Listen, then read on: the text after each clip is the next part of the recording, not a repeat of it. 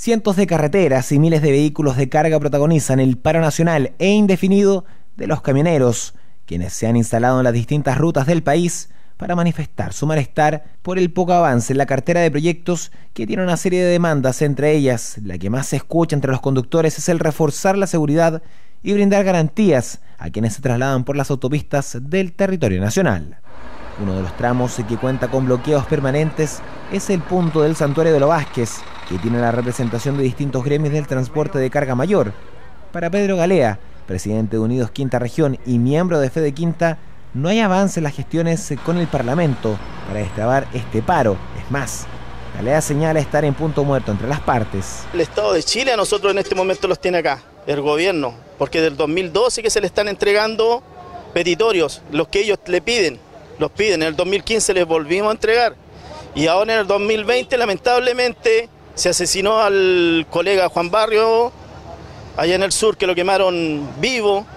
Eso no sé si se puede llamar terrorismo, pero eso ya es más que terrorismo, matar a un conductor que está durmiendo, que está descansando en su hora de descanso y que lo quemen vivo, eso ya para mí no tiene nombre. Y el Estado de Chile que no se hace responsable al Estado simplemente le interesa que el camión, el transporte, viaje, viaje, viaje y nosotros no tenemos ninguna seguridad. Hoy en día, saliendo en la mañana, no estáis seguros si es que vuelves a tu casa. Para la camionera Elizabeth Leiva ha sido una problemática de años la falta de seguridad que existe en las carreteras del país quedando muy expuestos a diversas situaciones que suceden en distintos puntos de Chile. Bueno, yo como mujer eh, también me ando exponiendo en este trabajo porque yo viajo junto a mi hermana que también está acá, también maneja camión, eh, nos exponemos como mujeres, no solo nosotros como mujeres, sino que todos en general como camioneros, porque seguridad no hay para nadie, menos para uno, obviamente pero seguridad no tenemos en ningún lugar en las carreteras. Pero no todos los camioneros se han querido plegar a la movilización generándose distintos inconvenientes en las rutas, uno de ellos el sector de Los Vázquez, cuando un transportista intentó pasar por el punto de movilización y sus pares lo amenazaron. Momento de alta tensión que señaló uno de los camioneros que estaba en el lugar. Lo que pasó es que estábamos aquí, paramos el camión y no paró. Simplemente no paró. Yo le dije, amigo, frene. No tengo freno, me dijo. Y ahí le dijimos que tenía que pararse, incluso no quiso pararse y un colega le sacó la manguera para que se frenara.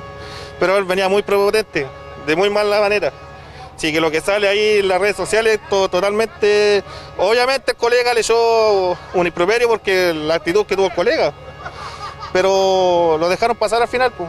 Se, fue. Pero no es así como sale ahí que de, violentamente le estamos pegando, él lo echó el camión encima a nosotros. Movilización que ha estado en constante vigilancia por parte de carabineros, quienes llegaron a ciertos acuerdos con los transportistas.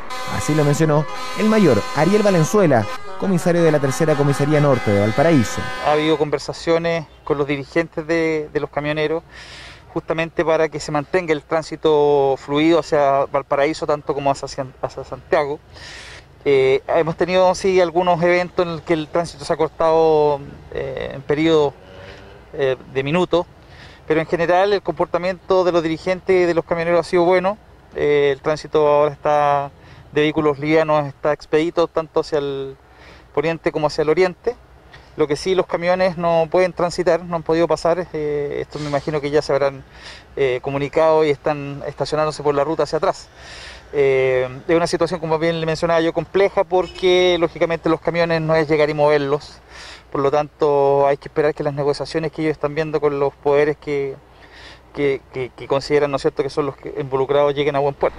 Movilización que continuará y que según anunciaron los propios transportistas, con el correr de los días se podría ir radicalizando con una extensión de los bloqueos en las rutas del país.